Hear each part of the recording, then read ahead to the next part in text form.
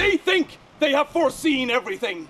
They think they have provided against everything. But the fools, the fools, the fools, they have left us our Fenian dead.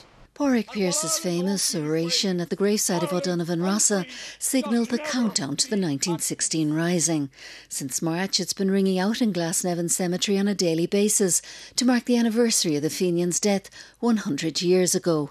Events have been taking place too in New York, where he died, and in West Cork, where earlier this month President Michael D. Higgins unveiled a memorial to him in Skibbereen. Oh, O'Donovan Rossa was true to his word those words. He was willing to suffer and was strong, defiant, and rebellious in his convictions. In his home parish, of Rosscarbery, the casket in which his coffin was brought back from America and found in a shed 50 years ago has been restored.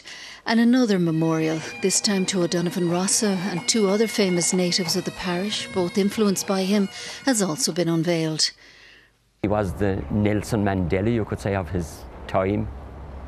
And I suppose you could say that he, to quote a great Latin phrase, uh, he was perfect example of mens sana in corpore sano, that he had a sound mind and a sound body. This uh, opening of this exhibition is very, very important exhibition, uh, which has been organised by Cork County Library and Art Service.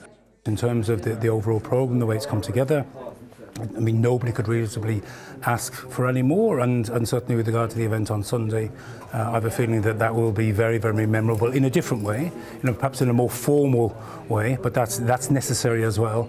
And uh, here's to it. Jennie O'Sullivan, RTE News, West Cork.